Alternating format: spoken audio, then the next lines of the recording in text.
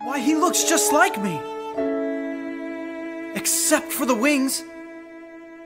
And except for the voice, because that's how a bird sings.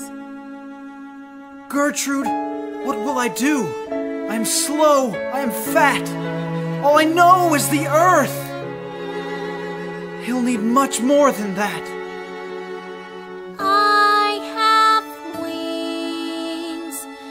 Yes, I can fly. You teach him earth, and I will teach him sky. Just call my name. and I'll see you through. One small voice in the universe. One true friend in the universe.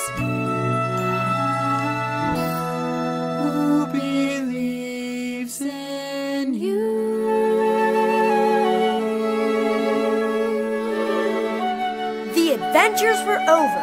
The sky became pink. And then guess what happened? Well, what do you think?